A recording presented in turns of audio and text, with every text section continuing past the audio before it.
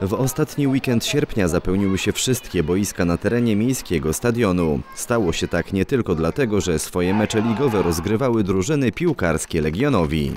Tradycyjnie już e, mm, na, na w ostatni weekend wakacji przygotowaliśmy otwarte mistrzostwa e, Legionowa w koszykówkę uliczną, w siatkówkę plażową, w tym roku również piłkę nożną grała.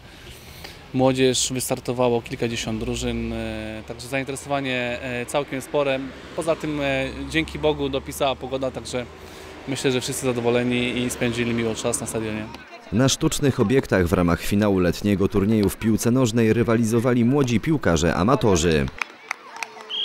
Zawody rozgrywano w dwóch kategoriach wiekowych. Wśród drużyn ze szkół podstawowych najlepsi okazali się zawodnicy KS Legionowo.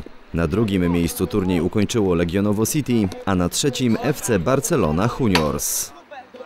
Na drugim boisku obok piłkarzy rywalizowali koszykarze w piątych otwartych mistrzostwach Legionowa w koszykówce ulicznej. W kategorii szkół podstawowych najlepszą drużyną chłopców zostały Kciuki. W składzie Piotr Wiśniewski, Kacper Jagnieża i Mateusz Malechowski.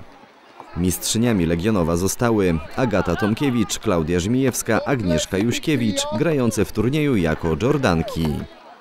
Rywalizację w kategorii gimnazjalistów wygrały atomówki, w której występowali Mikołaj Wiśniewski, Piotr Bziuk i Marcin Mitura.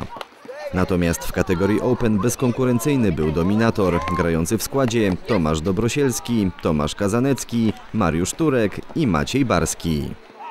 Grano także o tytuły w otwartych mistrzostwach Legionowa w siatkówce plażowej. Do turnieju zgłosiło się aż 17 drużyn, więc rywalizacja była wyjątkowo zacięta. W finale Bartosz Kujawski i Andrzej Mamełka pokonali 21 do 15 Pawła Sutyńca i Adama Zielińskiego. W meczu o trzecie miejsce Aleksander Mamełka i Maciej Kałuża pokonali Adama Szymborskiego i Jakuba Miecznikowskiego 21 do 12.